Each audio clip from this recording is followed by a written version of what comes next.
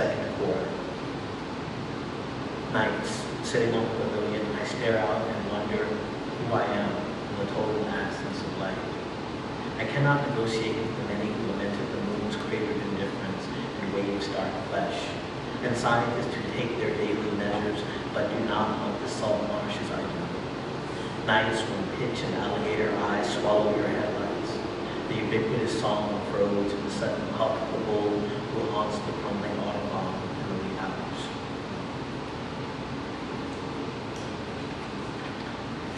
Five, you. As earth enters Versailles, my hesitance dissolves.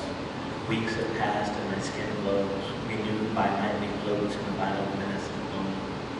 The packed and lonesome sand no longer frightens me. The sea conceals all but my clothes and spectacles and cloud step of the pavilion during my unperturbed focus upwards in the streaking stars, a blazing Jupiter.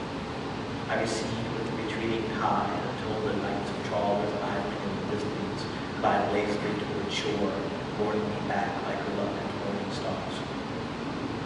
On my final night with Sapelo, the tide is low. The waves break too far for me, and clouds obscure in total my view of the crescent moon and stars. We part now as kin, hostile with farewell.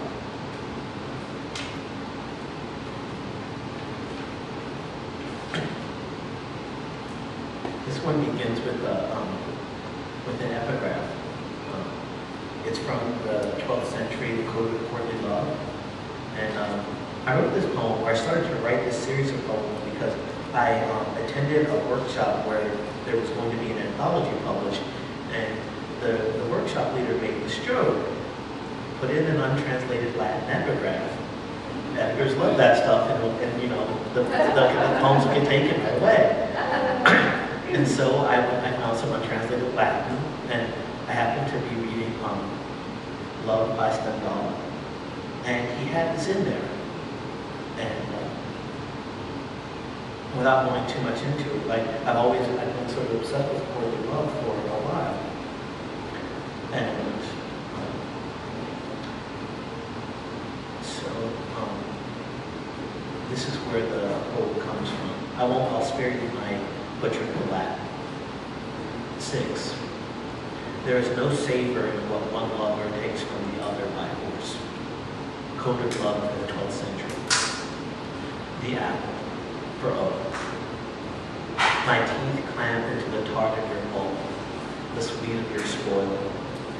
There is no plump part of you, no speckled cascade of rouge left unbruised.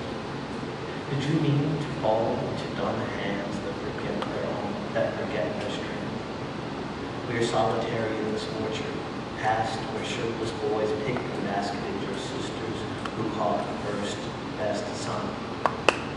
Why would you fall before me, anxious for supper and sustenance? Your seeds plummet to my feet as, the, as my breath swells the slick chambers of your core.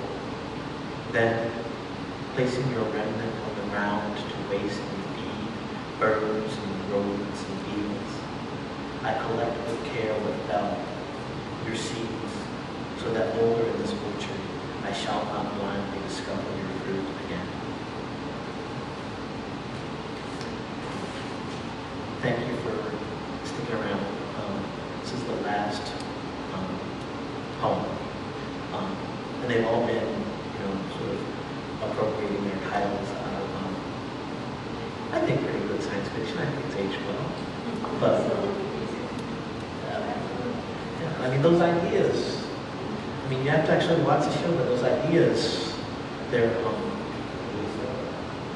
they're, they're pretty timeless. By any other name, Paris friends. The plane descends into snow-dusted tarmac. My tongue stumbles and luggage fishtails over icy streets. I'm a locust reanimated by cold and capricious light. In the metro, holiday shoppers and commuters hold melancholy close, each a glacier in the cramp.